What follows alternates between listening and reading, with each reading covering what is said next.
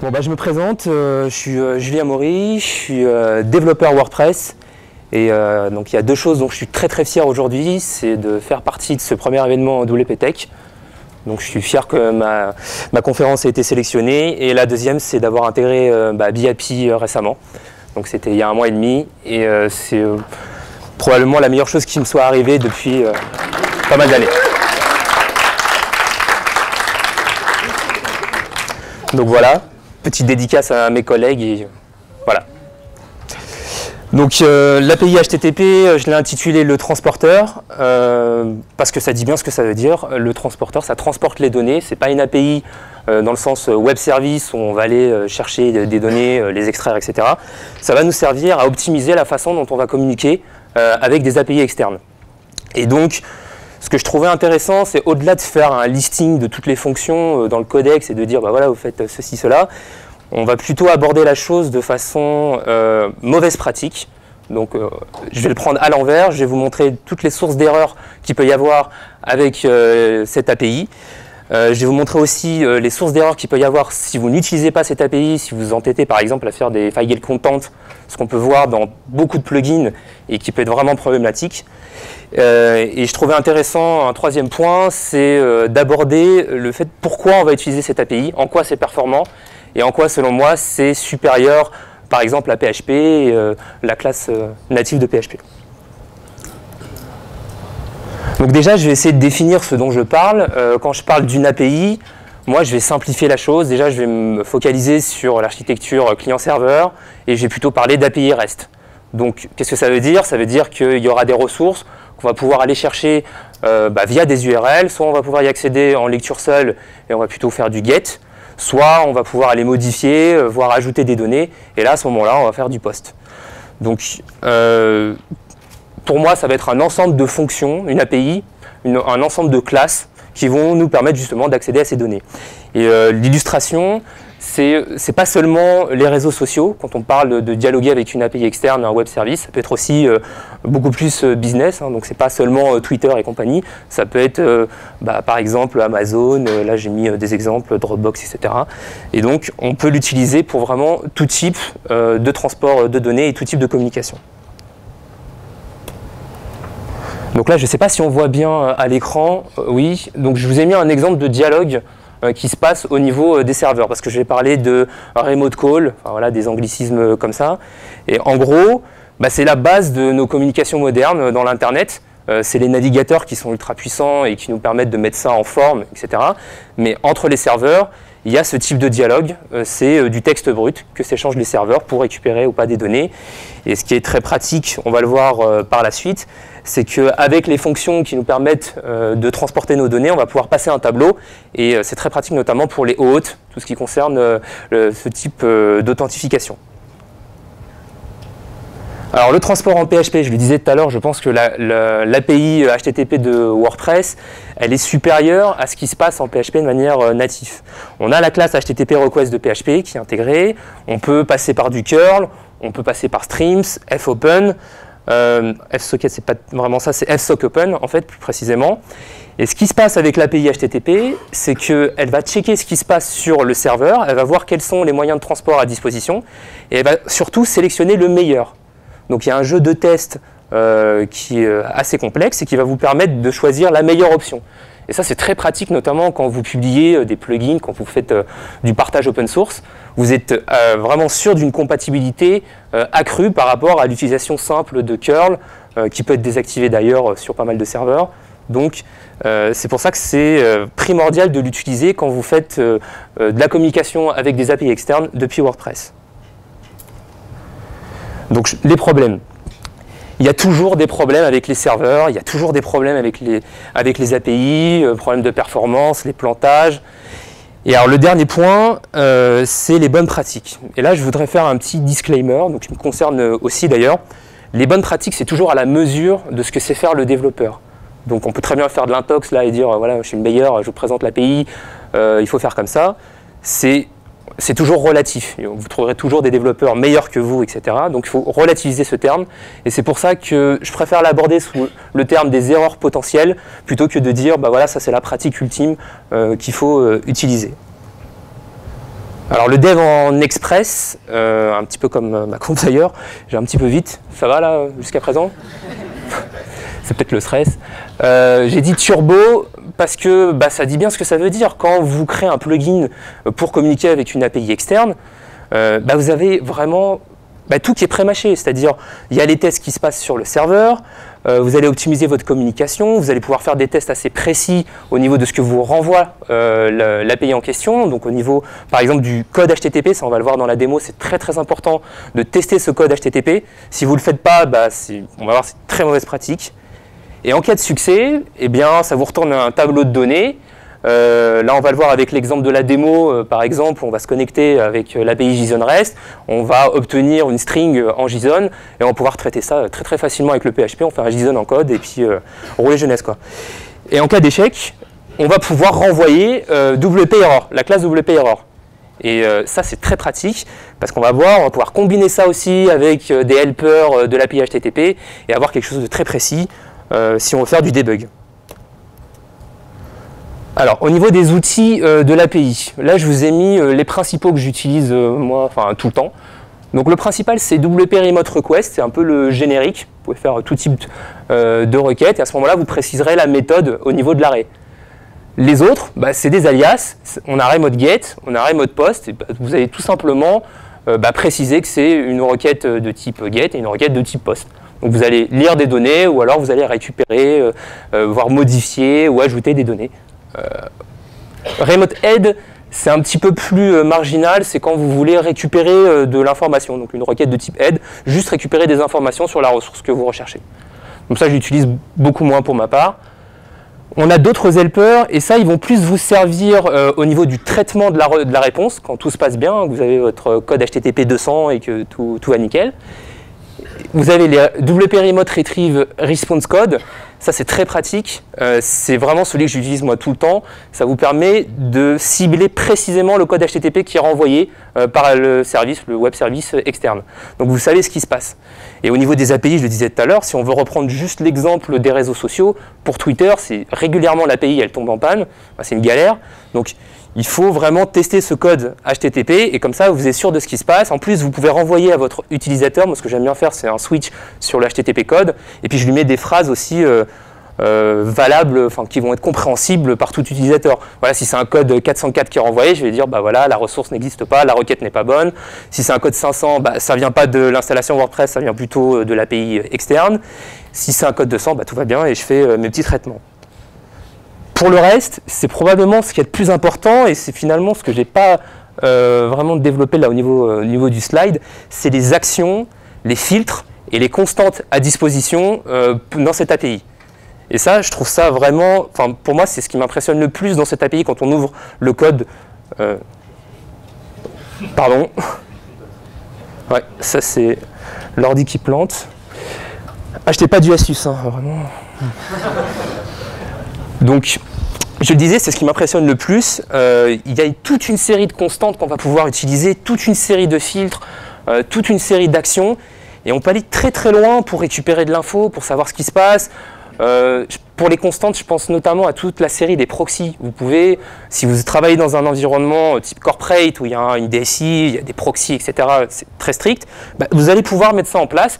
C'est juste des define dans le WP config euh, vous les setez, enfin username, euh, euh, proxy, password, etc. Et vous allez pouvoir très bien utiliser ça avec WordPress. Il y en a d'autres aussi qui sont vraiment très intéressantes. Vous pouvez bloquer toutes les, requêtes vers l'extérieur. Et à ce moment-là, quand vous avez utilisé, donc je crois que la, constante, je ne me rappelle plus très bien, c'est HTTP block external, vous pouvez aussi combiner ça avec une autre constante qui est allowed host.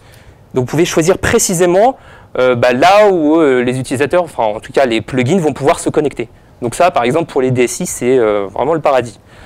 Pour les filtres, je pense à toute la série des use pour les transports. On peut définir bah, quel type de transport on veut autoriser au niveau du serveur, enfin au niveau de, WordPress. On peut lui dire bah, use curl transport, use f open transport, use f token, enfin tout ce que vous voulez transport. Vous mettez ça dans un add filter, vous faites un return false là avec les méthodes, enfin les, fonctions magiques, et vous pouvez désactiver comme ça très très simplement euh, un mode de transport. Pour les actions, bah, c'est le slide suivant. Il y en a une que j'aime beaucoup qui s'appelle HTTPI. Donc je vais le mettre plutôt ici, voilà, qui s'appelle, je sais pas si on voit bien, qui s'appelle HTTP API Debug. Et ça, ça vous renvoie tout l'objet euh, au niveau de vos requêtes HTTP. Ça, c'est hyper pratique. Vous pouvez loguer tout ce qui se passe. Et donc, quand vous êtes en phase de debug avec, par exemple, une API externe, c'est hyper pratique. Alors, on va passer à la démo. Je pense que c'est plus important. Euh, c'est un parti pris au niveau de la présentation. J'ai choisi de plus insister sur les erreurs que de vous faire un truc en vous disant euh, c'est génial, tout se passe bien. Donc, je vais ouvrir, si je retrouve dans texte, la petite démo. Et voilà. Donc, est-ce qu'on voit bien à l'écran? Ouais. Donc, j'ai créé un tout petit plugin que j'ai appelé euh, démo WPTech 2014. Et à l'intérieur, j'ai mis une série de fonctions. En fait, j'ai mis trois fonctions et ces trois fonctions, elles font exactement la même chose. Euh, pour le côté fun, euh, j'ai connecté ça au niveau, enfin une machine virtuelle en local, bref, on s'en fout. j'ai connecté ça avec un JSON REST API.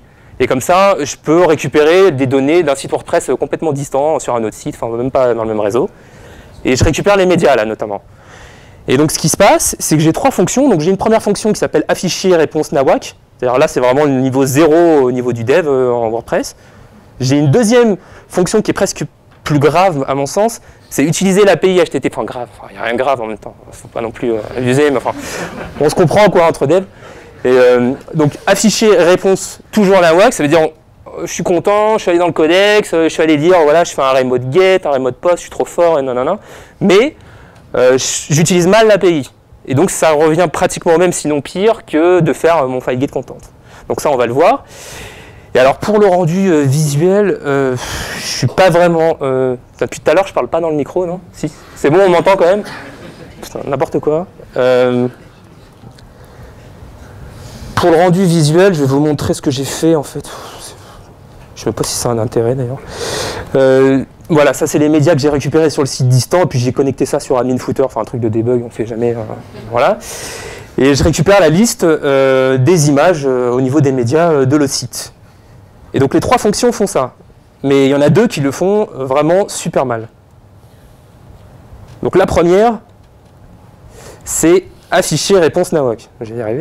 Donc on fait un content, voilà. Et puis euh, là, URL source, c'est une constante. J'ai défini euh, euh, mon URL pour récupérer les images. Et puis direct derrière, je fais un JSON des codes, data, true, et puis je renvoie les données. Mais le problème, c'est que Utiliser FileGate comme ça, bah, c'est une mauvaise pratique. Alors, je vais parler peut-être, je ne sais pas si Julio est là, sous le contrôle de Julio pour la sécurité, mais il y a des.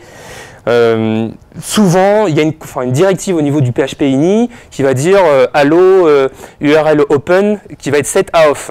C'est pour des questions de sécurité. Et eh ben, si c'est set à off, et ce qui arrive très souvent sur les serveurs, et eh ben, FileGate Content, il ne peut pas prendre d'URL au niveau de son paramètre. Donc là, bah, c'est fini. Votre plugin, il renvoie une erreur fatale. Donc, bon ne sera pas utilisé. Le deuxième cas, c'est bah, j'ai toujours ma fonction. Bon là, pour le fun, j'ai mis des arguments au niveau de remote get, mais c'est presque inutile de mettre HTTP version, je ne sais pas pourquoi j'ai fait ça. Et donc, afficher réponse toujours en AWAC. Là, je suis content, je suis allé dans le codex, j'ai vu qu'il y avait une fonction qui s'appelle WP remote get.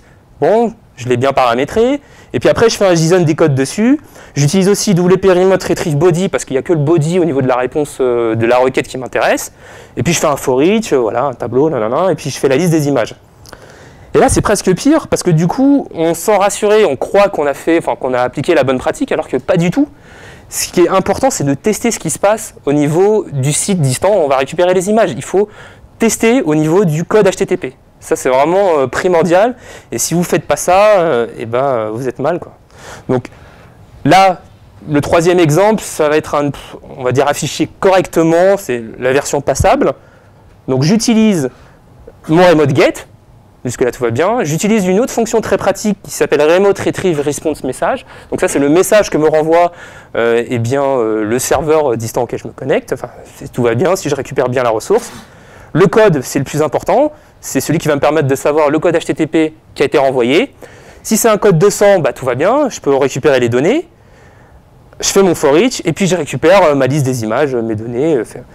Et alors une autre bonne pratique, c'est là par exemple je me contente de faire un écho, mais je fais aussi un return true.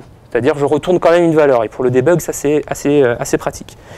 Et dans le cas contraire, si c'est pas un code 200, c'est-à-dire s'il y a un truc qui va mal, je me suis mal authentifié ou j'en sais rien, euh, bon là il n'y a pas besoin de s'authentifier parce que c'est JSON REST et c'est en get, je fais un return de la classe, avec la classe WP error. Premier argument, le code HTTP, deuxième argument, le message.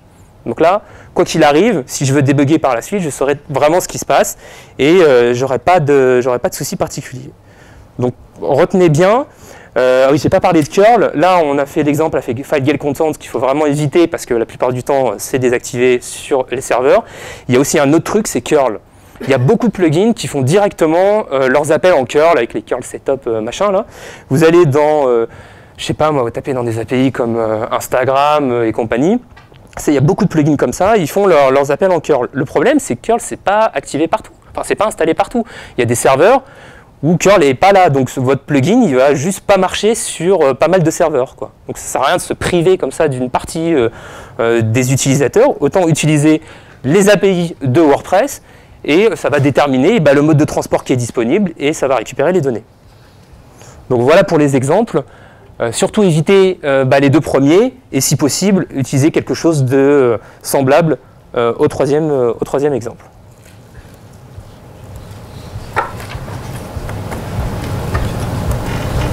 On va retourner dans la conf.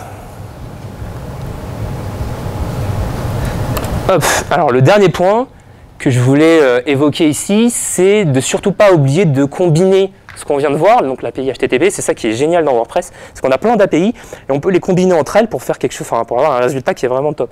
Donc, enfin, même si on est conscient euh, des limites, euh, on n'est pas non plus en adoration, euh, voilà, c'est pas, on n'est pas des évangélistes.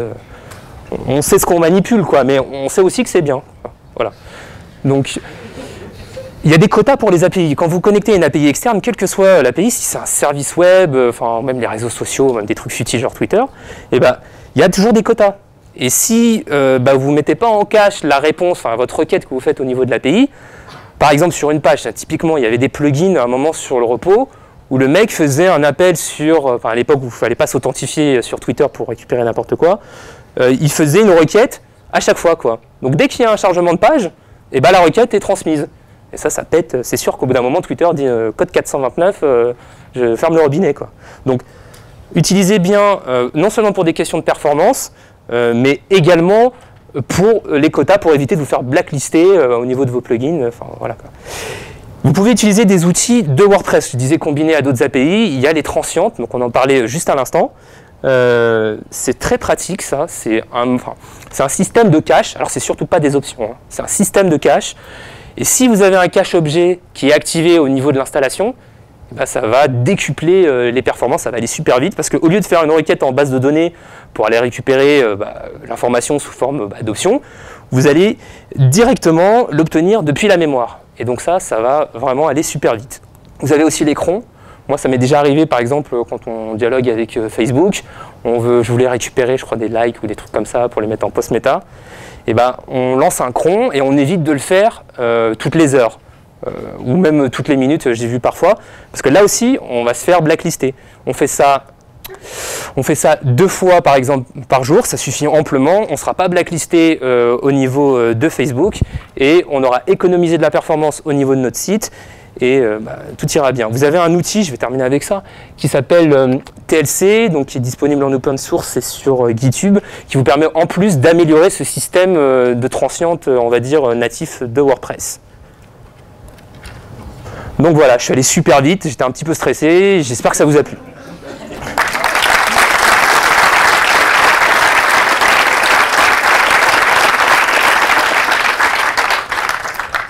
Si vous avez des questions.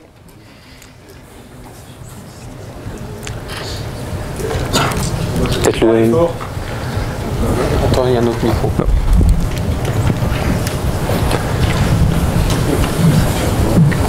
Pas vraiment une question, mais un, un complément. Euh, je partage ton amour pour la classe, euh, pour l'API HTTP.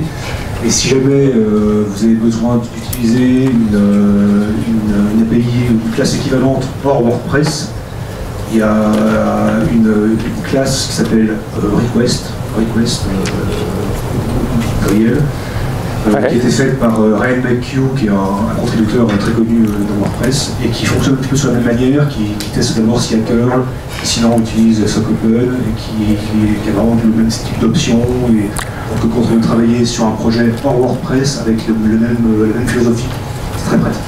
Donc euh, là, on, bah, je répète euh, pour la vidéo, on a un complément euh, qui va nous permettre, hors WordPress, de faire exactement la même chose que l'API HTTP.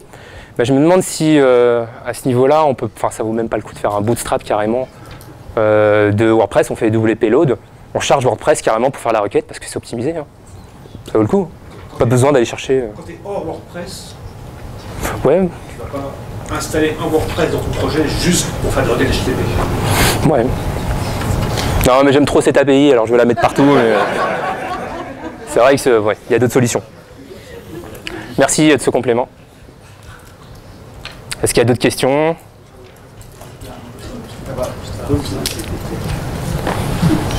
Une question, euh, si on veut faire euh, utiliser un WordPress pour faire une API euh, pour d'autres sites, Ouais. et on, a quand même, on passe quand même par le WordPress, c'est quoi la, la surcharge Est-ce que tu, tu l'as déjà estimé Est-ce qu'on vraiment arriver de la, performance c'est juste pour utiliser des API qui sont déjà existants? Euh, alors tu veux créer une API avec WordPress, c'est ça? Ouais. Bah, C'est typiquement le projet qui s'annonce là, c'est euh, la JSON REST API. J'en ai pas trop parlé, je devais en parler plus, mais j'avais peur que ça soit un peu HS. C'est... euh, Pardon, pardon. Bah, je vais y arriver hein, quand même. Bon. Euh, je voulais pas trop en parler parce que c'est un petit peu HS euh, l'API JSON REST. Moi personnellement, ça m'enthousiasme beaucoup. Ça devait être intégré pour la 4.1 et finalement ça va être en 4.2, enfin, voire 4.3 s'ils n'arrivent pas à l'intégrer au corps. Et ça va transformer toute l'installation WordPress en API REST euh, digne de ce nom. C'est-à-dire, bah, c'est ce que j'ai fait là pour me connecter. Euh, je suis allé euh, au niveau d'un site distant et je suis allé récupérer les images. L'adresse c'est wp.json média et je peux récupérer la ressource média. Et c'est ce qui va se passer notamment avec cette API quand ça va être intégré au corps, si jamais c'est intégré. Ça va permettre de transformer en API REST. Donc on pourra aller sur des URL, récupérer en get par exemple les images. Si on veut s'authentifier, bah là justement, si on passe par le PHP, eh ben, on pourra très bien utiliser euh, la classe HTTP, euh, enfin l'API HTTP, je vais de WordPress. Euh, on fera un WP remote get, enfin plutôt un remote post, et on passera un arrêt avec les, identifiants. On fera avec authorization. Il y a un paramètre authorization. On fait un base 64 par exemple si on veut faire ça en, basique, ou alors on mettra un protocole au dessus et on pourra aller aisément comme ça récupérer des données ou pouvoir les modifier sur un site WordPress. En PHP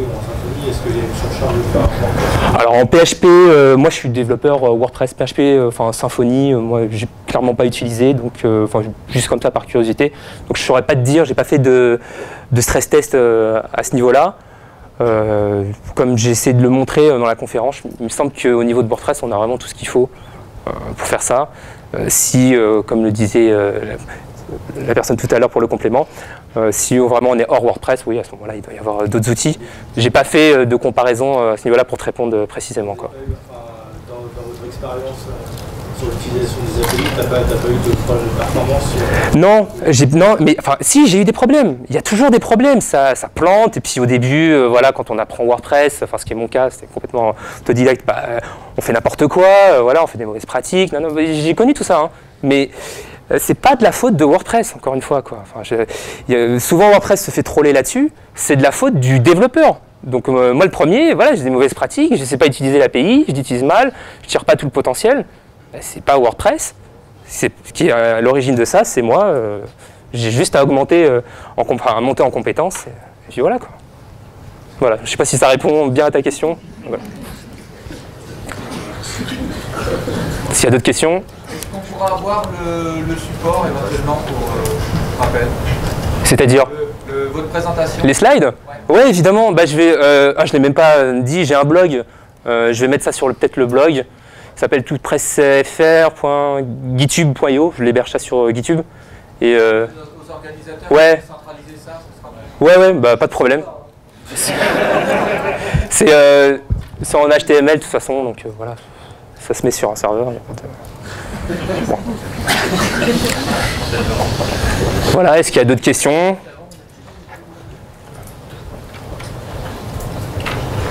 Bon, bah, merci beaucoup de votre attention. J'espère que ça vous a plu.